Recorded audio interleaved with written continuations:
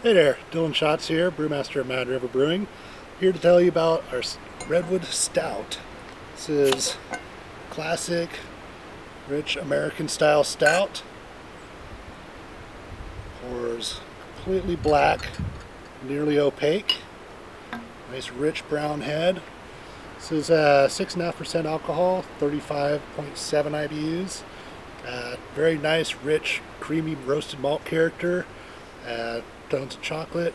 It says um, pale malt, crystal malts, chocolate, roast, and black malts. Uh, bittered with Willamette and Cascade, and finished off with Cascade and Willamette. Nice, delicious dessert beer. Cheers.